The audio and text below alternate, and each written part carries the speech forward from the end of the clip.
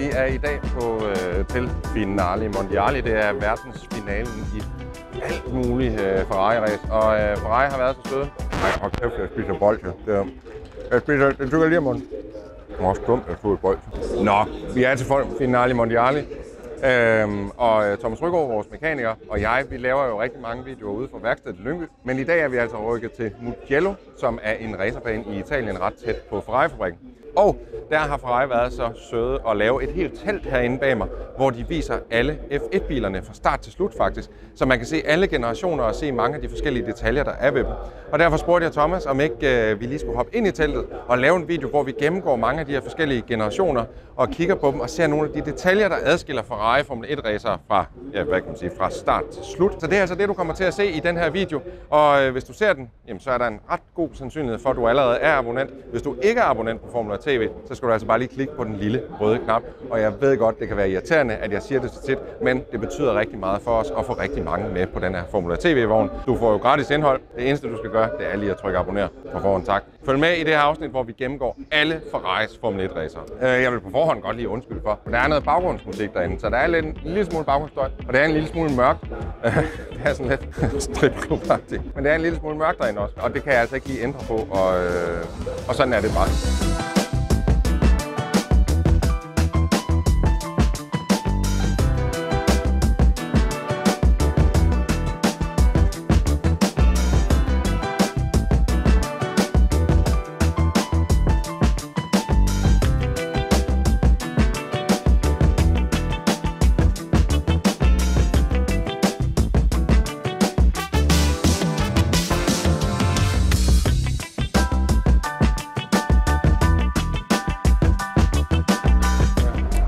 Hvad, siger den med lyset? Altså, hvad siger øh, den, Dylan? Kan man, kan man se noget? Og kan, kan man, man høre noget? Og... Jeg ved, jeg skal prøve at holde den her, ikke? Så, så, altså, så længe vi begge to er med. Uh, vi kan se til kameraet, at vi er til Finale Mondiale, hvor Ferrari har udstillet alle, uh, hvad kan man sige, alle Formel 1-biler. Alle Formel 1-bilerne, Fra start til slut nærmest. Vi, ah, ikke øh, helt fra starten måske. Ja, Eller det, det her, det er det er, starten. det er starten. Ja, det, er, ja, det er her, ja. det hele det starter. Og så tænkte vi, at Thomas og jeg, vi er jo normalt nede på værkstedet, men Ja. jeg tænkte, at vi kunne lige så godt lige tage en runde her rundt i salen og se på nogle af de... Form... Er du gået i gang? Ja, jeg er. Den, jeg vidste ikke, når du startede. Og den lyser rødt. Den kører. Og øh, vi har Dylan bag kameraet. det har vi. Ej, det er den. Du er fandme en god kameramand, ja. Og vi vil prøve at se, om vi kan få det her til at fungere. Der er lidt Ja. dårligt lys herinde, og der er noget baggrundsmusik, men jeg håber, Ja. I kan leve med det. Thomas, du ved jo mere om F1-biler, end jeg gør. Ja, det gør jeg. Ja. Det gør jeg. Og alligevel, så ved jeg ikke alt. Men, Nej, men det her, Men, øh, hvor langt er vi tilbage?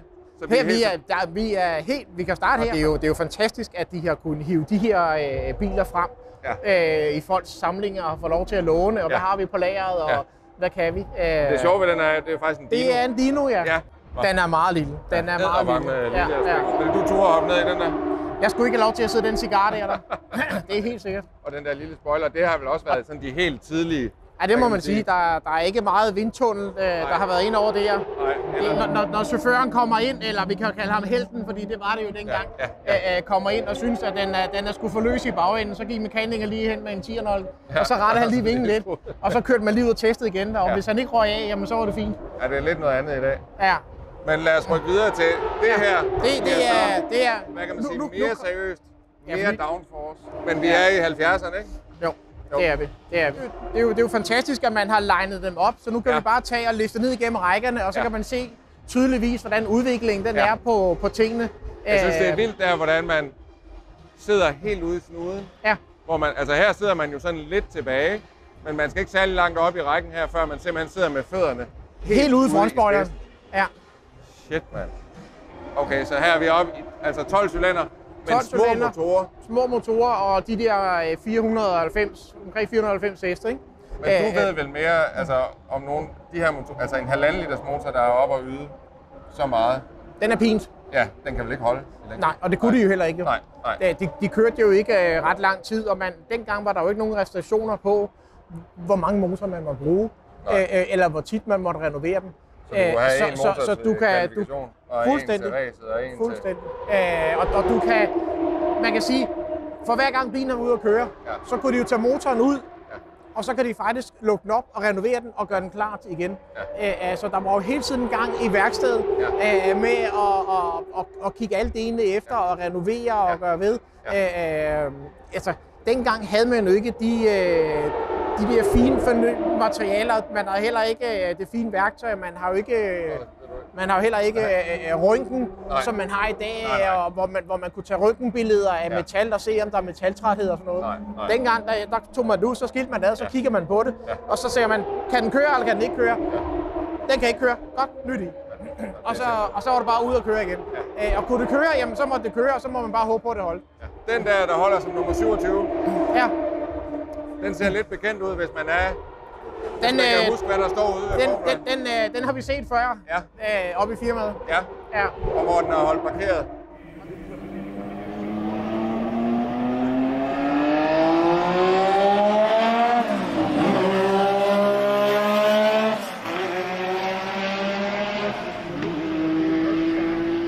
Det er turbotiden. Det er det nemlig. Der er, der er altså tryk på der. Der, der, der kommer der turbo på. Ja. Der kommer Men stadig små, altså små motorer. små motorer, halvanden liters motor, kørte man med dengang, og så øh, kørte man med turbotryk på.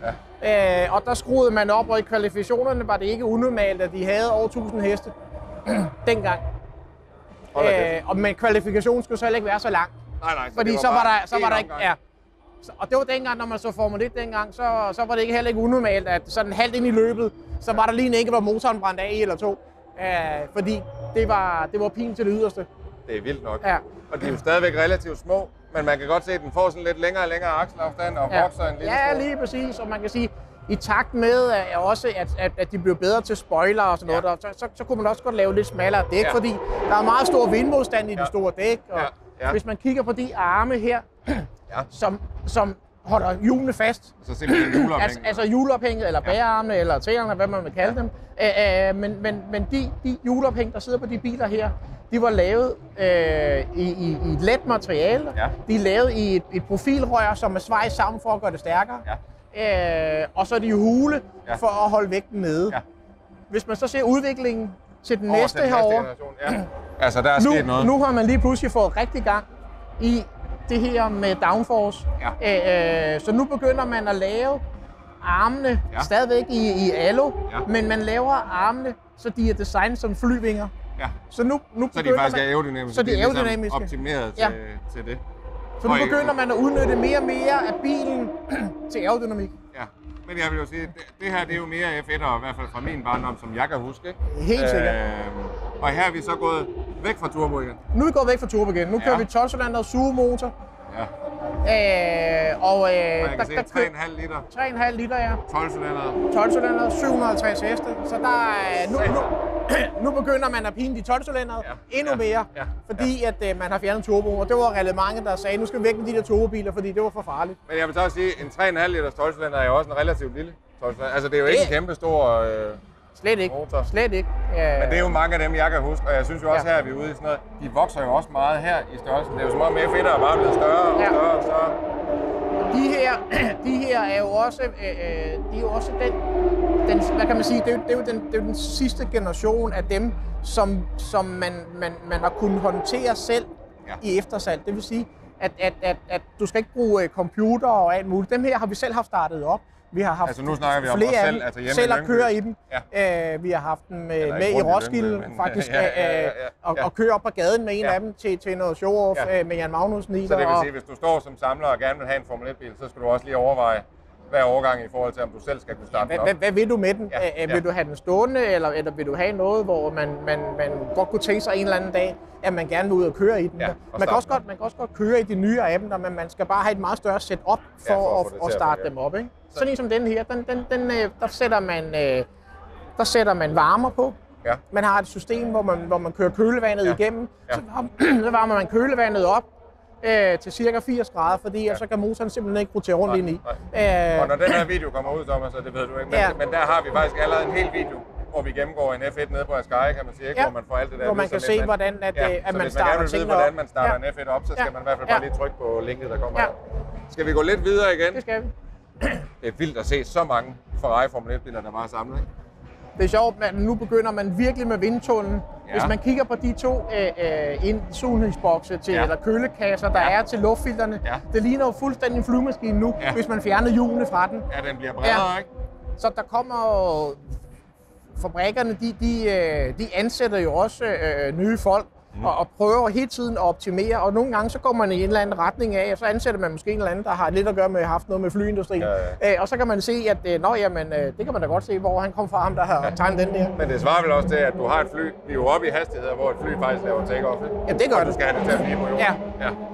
Det er helt vildt, og du men vil man hen- kan virkelig godt se, at der sker meget med også de små ekstra spoiler og sådan noget, ikke? Ja. hvor man før var henne i, at du bare havde en hovedspoiler. Der var Men her en foran og en bagpå ja, dig. Og nu er der begyndt at blive bredt Nu godt begynder ud, de at, at, komme alle mulige steder. Men, Men også det var se- vel faktisk også i de her årgange, hvor Ferrari havde det lidt svært. Det var jo ikke bare her, hvor de vandt alle løb. Altså, Nej. det, det var faktisk her, hvor de kæmpede lidt for at være med i front, ikke? Jo.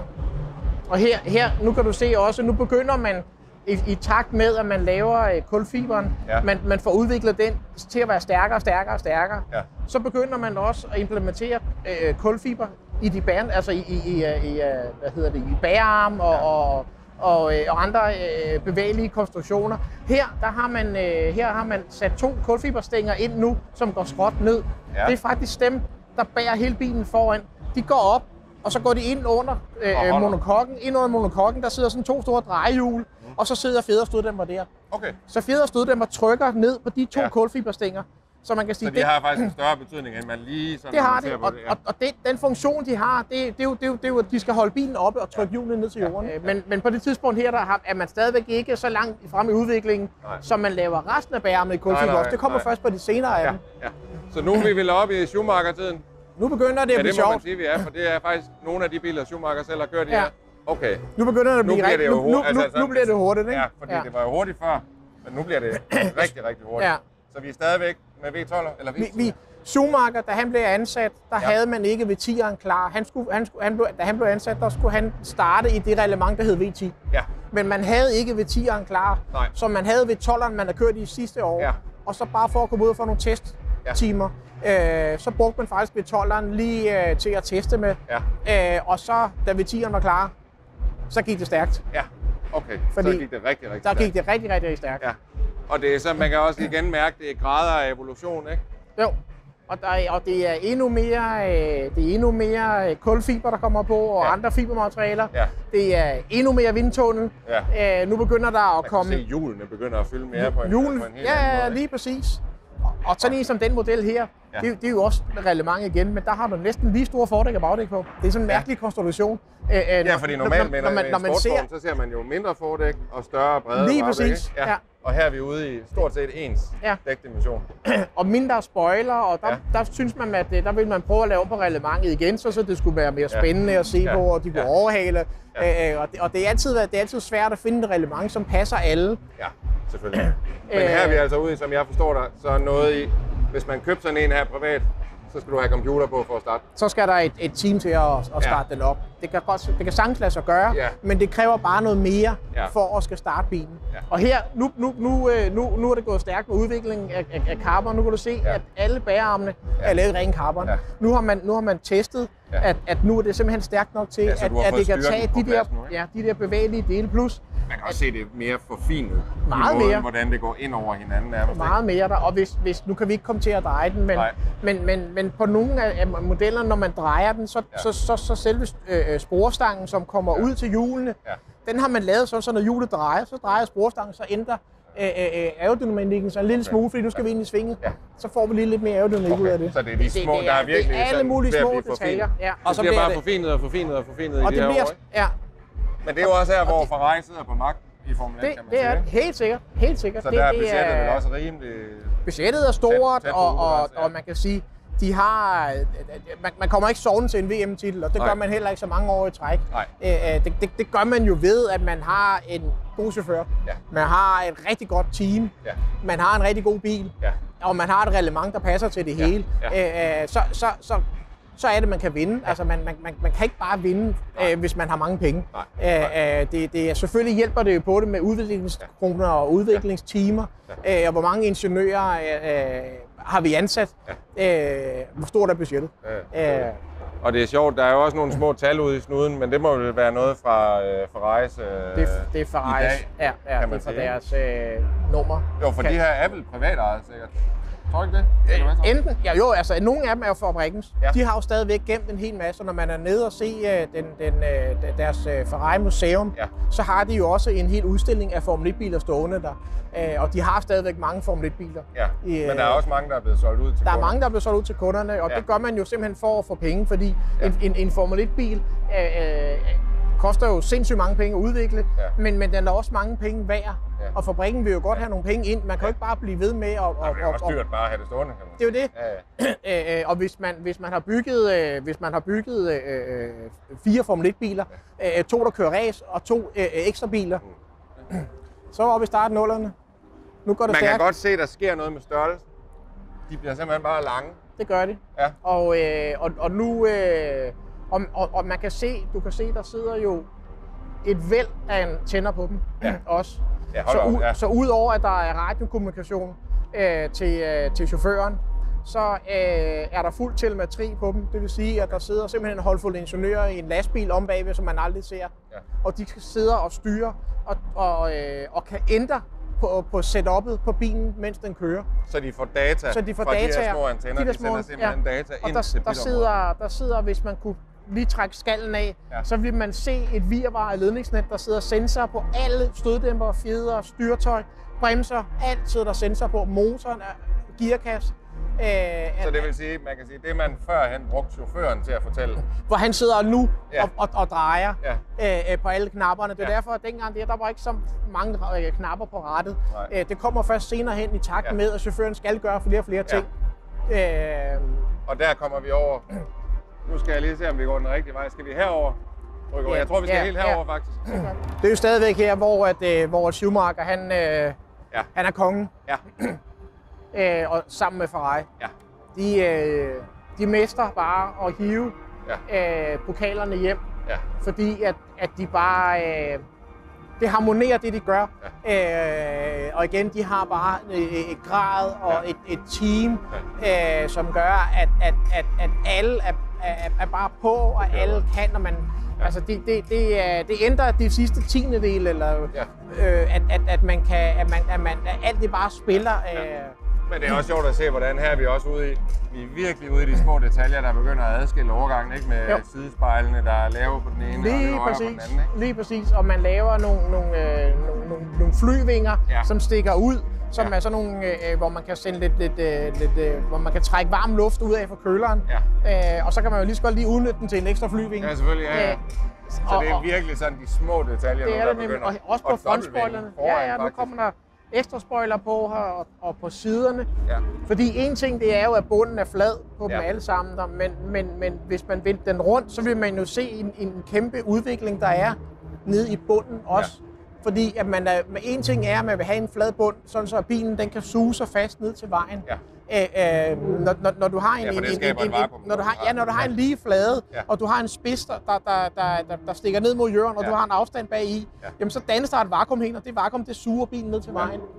Øh, men Og det er jo det, du gerne vil opnå. og, og det vil du gerne opnå. Ja. fordi det er, jo, det, er jo, det er jo gratis downforce, kan Ja, man sige. ja, ja. øh, men du vil jo også gerne have, så der laves der er sådan en masse vortex-ruller øh, Ja, bagefter. ja, Ja, Øh, dem vil man gerne have, at de skal slippe bilen, uden at de trækker i bilen. Ja. Så derfor så, så udvikler man jo lige så meget på, og, og, og hvordan skal man udvikle den bag i, Ja. for man får alle de der vivler til at slippe. Men det, på er en også, nem det må måde. jo have krævet altså, tusindvis af timer i vindtunnelen for at få det her til at... Fordi jeg synes jo, de tidlige Formel 1-biler, de er jo meget rene sådan over Ja. det hele. Men her kan man godt se alle de der små finder og Alle- hister her og alle mulige steder. Ikke? Alle detaljer. Man Ja. begynder nu at lægge udstødningsrørene op, fordi Okay. man kan lige så godt udnytte, Ja. man kan lige så godt udnytte varmen for udstødning, og man kan lige så godt udnytte alt af det udstødningsgassen, Ja, der bliver ja. blæst ud Ja. af motoren. Kan man lige så godt udnytte og bruge det vakuum, der kommer ud af det også. Og det er jo så også her, hvor man kan sige, det er jo derfor, Ferrari har jo også taget mange af de her detaljer.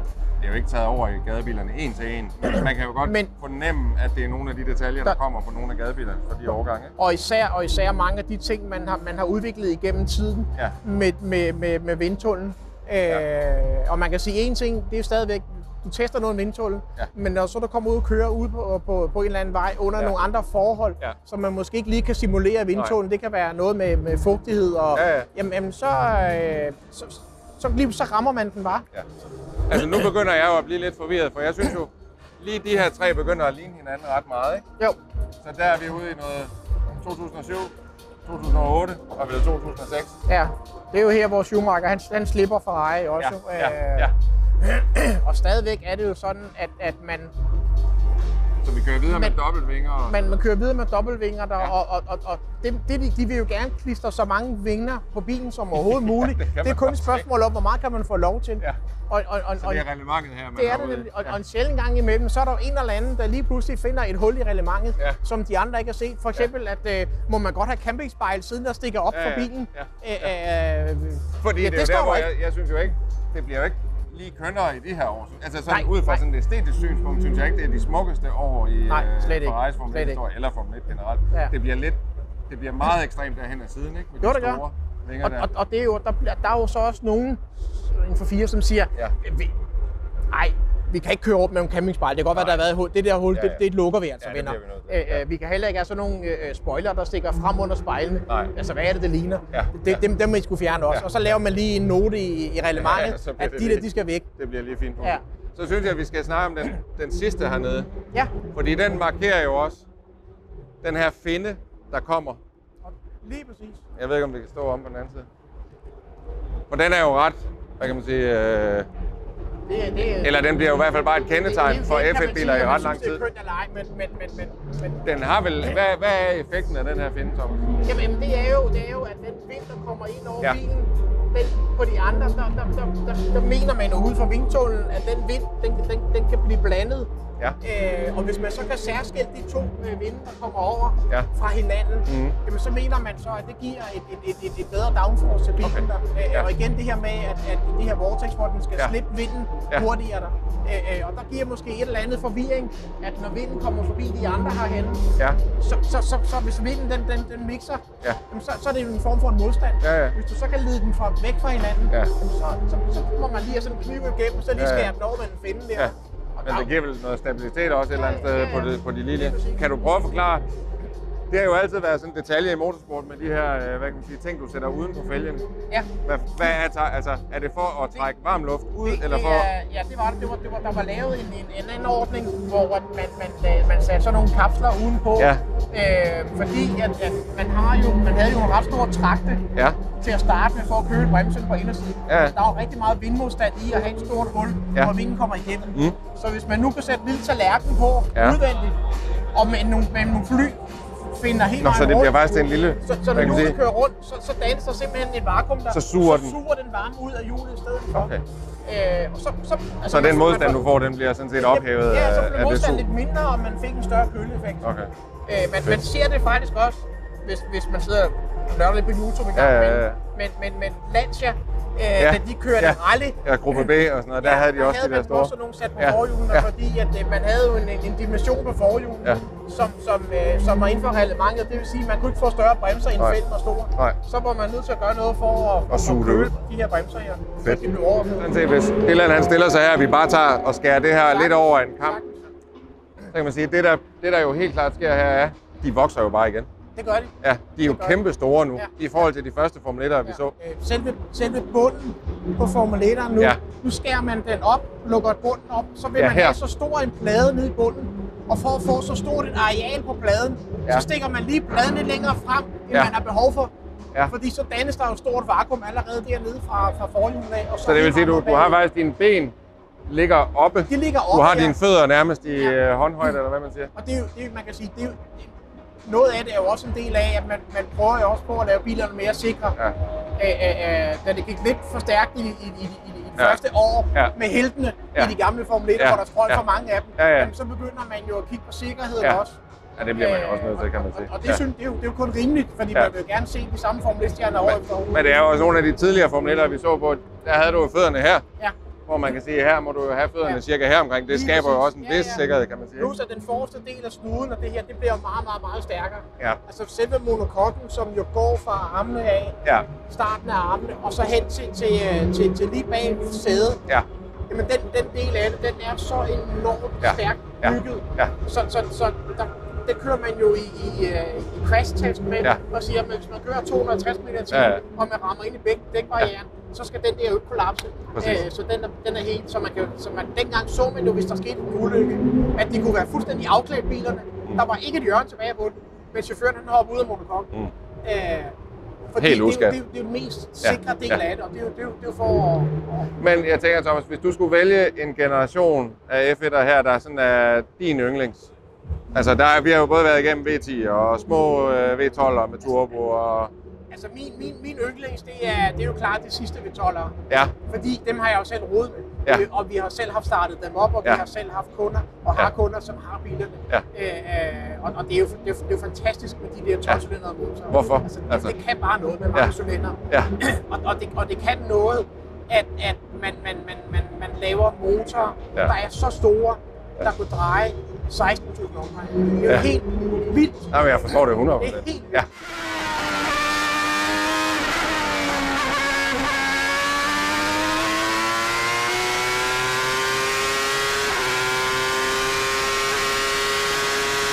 Jamen, det vil jeg også sige. Altså, jeg vil sige, for mig er det jo meget sådan noget Schumacher-æren. Altså, med V10, som Ja. var den, da jeg var lille, ikke? Det var den, man fordi, hørte. det Man, man holdt, Ja. med, man holdt det med Ferrari, Ja. man holdt det med Schumacher. Ja, det blev man nødt til. Det var og, det og man bedste. synes jo, Ja. at det var fedt Ja. at se, at man vandt.